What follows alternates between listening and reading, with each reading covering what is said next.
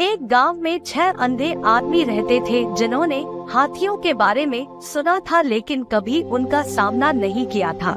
यह समझने की उत्सुकता में कि हाथी कैसा होता है। उन्होंने पास के शाही अस्तबल में जाने का फैसला किया, जहाँ राज नाम का एक हाथी रहता था।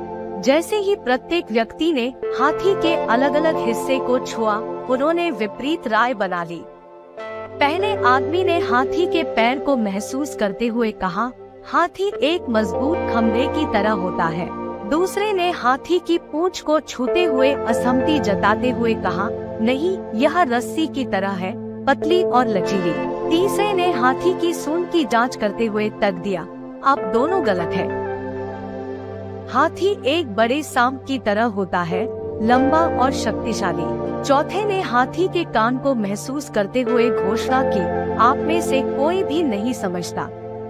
हाथी एक पंखे की तरह होता है, चौड़ा और सपाट। पांचवे ने हाथी का दांत पकड़ते हुए ज़ोर देकर कहा, आप सब गलत है। यह भाले की तरह सख्त और चिकना है। छठे ने हाथी की बगल को छूते हुए कहा, आप सभी आंशिक रूप से सही है।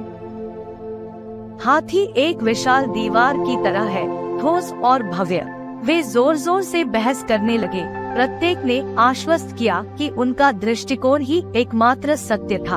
अंधे लोगों को अपनी गलती का एहसास हुआ और उन्होंने इस विचार को अपनाया कि हर किसी का दृष्टिकोण अधिक व्यापक समझ में योगदान देता है। कहानी का सार यह है कि दृष्टिकोण अलग अलग होते हैं और पूरी तस्वीर को समझने के लिए विभिन्न दृष्टिकोणों पर विचार करना आवश्यक है।